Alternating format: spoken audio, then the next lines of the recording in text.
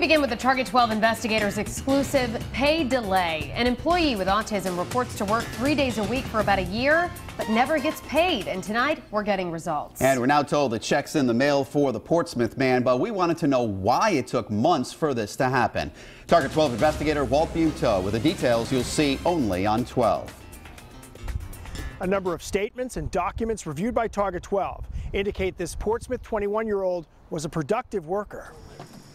In August of 2014, Caleb Dyl was placed as a prep cook at the Middletown Applebee's by the state funded agency Resources for Human Development. We were told by RHD that they were going to hire him and he was going to get paid. RHD sent a work coach with Caleb to the restaurant and documented that Dyl was a tireless worker. One young man told me that they were lucky to have him.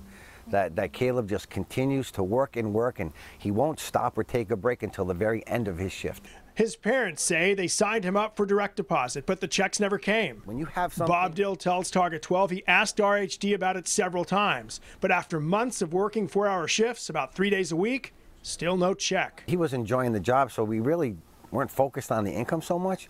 But after that amount of time, you kind of wonder what's going on. While Dyl says he told RHD about the problem several times, a regional director of operations for the restaurant chain tells Target 12 this RHD never contacted us. The first we heard of this was when you, as in Target 12, called. We obviously feel terrible. We have to make this right. RHD receives funding from the Department of Behavioral Health Care, Developmental Disabilities, and Hospitals. A spokeswoman for that state agency tells us if Caleb Dyl was not getting paid, RHD should have contacted the state. But she says there are no records that anyone from RHD did that. Target 12 reached out to RHD several times over the past few weeks, including again today.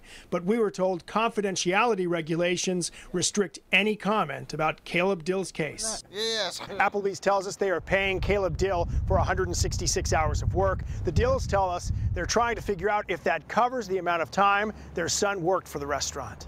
With the Target 12 investigators, Walt Buteau, Eyewitness News.